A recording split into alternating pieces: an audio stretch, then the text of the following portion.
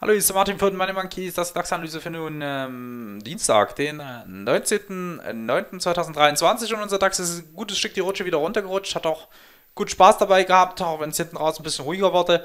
Ähm, ich denke, es war ganz gut, dass wir gestern auch nochmal ausführlicher darüber gesprochen haben, wie arbeite ich mit einer solchen Analyse wie das, was wir hier erstellen.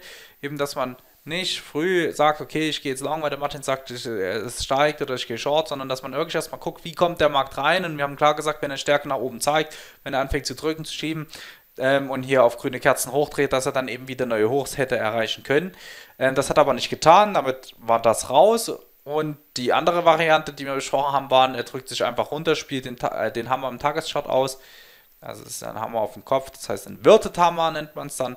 Ähm, wir haben gesagt, wenn er die Tageskerze ausspielt, hier vom oberen Band weg, ähm, dass er sich darunter dann insbesondere auch unter 830 und 800 eher Richtung den ganzen alten Marken wieder orientieren wird. Ja, wir haben gesagt 67, 700, ähm, 670, 600, bis dann sogar letztendlich 55 wieder. Ähm, da liegt nun fast auch schon die 200-Tage-Linie, äh, notiert jetzt 535. Das wird wohl bald ein schönes Match geben hier auf der 550. Aber sollte sich noch nie zu früh freuen. Na, das kennen wir ja oft genug. Wir haben jetzt hier auf jeden Fall erstmal nochmal ein interessantes Niveau erreicht. Die 700, warte, ich muss mal kurz niesen. Ich drücke mal auf Pause. so, da ist er wieder. Ähm, frisch abgenießt. Ähm, 15.700 ist jetzt hier erstmal ein attraktives Niveau. Ist eine gern gespielte Marke aus den letzten Tagen. Die kennen wir alle. Das hat oft genug gezockt. Das ist vollkommen okay.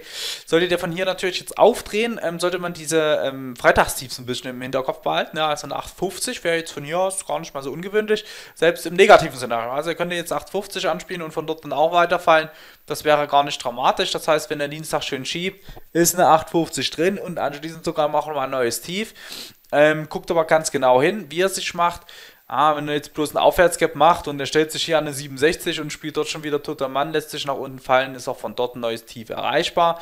Ich würde aber trotzdem denken, dass wir aus dem Bereich hier durchaus das Potenzial haben, erstmal wieder auszubremsen, eine Gegenbewegung einzuleiten. Und jetzt müssen wir halt gucken, wie, wie stark ist die Gegenbewegung. Ja, also ich, auch ein Szenario, mögliches Szenario, was auf einen Dienstag jetzt hier gut passen würde, wäre Aufwärtsgap 67, einmal runter 670 noch bedienen ja, haben wir wieder zwei Marken abgearbeitet aus unserem Port, Port, Potpourri. Ne, wie sagt man? Ja, ihr wisst, was ich meine.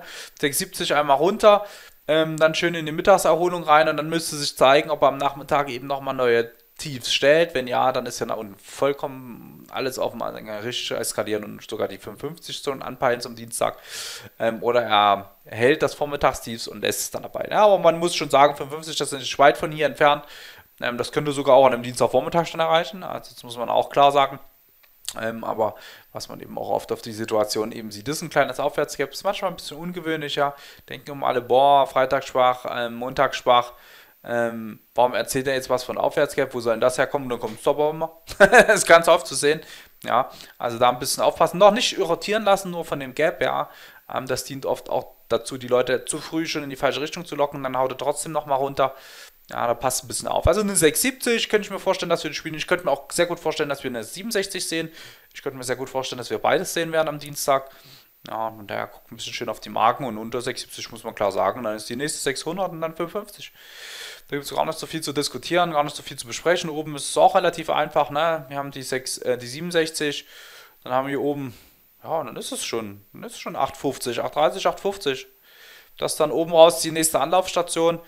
Und alles, was dann über Montag drüber geht, dann wäre die Wochenkerze wieder im Positiven, also über 8,80, über 8,85, kriegt er deutlich positiven 3 raus und könnte auch, sag mal, wenn er es jetzt bei dem Tief belässt und komplett nach oben durchschrubbt, dann wieder neue Hochs anstreben. Weil dann wird er versuchen, die Welle nochmal von dem Tief nach oben zu replizieren, dann kommen wir auf 16,21. Ja, denkt dran, es geht hier nicht in der Analyse darum zu sagen, ob es morgen steigt oder fällt, sondern einfach, damit ihr hier an dem Tag, ah, wie gestern, beste Beispiel, ähm, einfach ein bisschen einordnen könnt, wie bewegt er sich, wenn er, ja, wenn er früh, wenn er, wenn er, wenn er bestimmte Dinge abspielt, ähm, womit muss ich rechnen, wie muss ich mich weiter verhalten, wo sollte ich vielleicht eine Position glatt stellen, wo sollte ich, kann ich vielleicht eine neue aufmachen, darum geht es. Ne? Es geht nicht darum zu bestimmen, ob es morgen regnet, stürmt oder schneit, ich bin noch kein Hellseher, ich bin kein Gott, das weiß ich auch nicht. Aber wir können eben so eine Punkte wie auch die 15.700, die wir gestern genannt haben, als Bewegungsziel, wenn das hier unten reißt, Sowas, das kannst du mit Charttechnik halt machen. Ja? Und damit lässt sich Geld verdienen.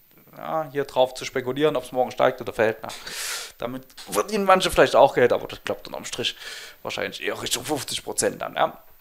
Gut, Freunde.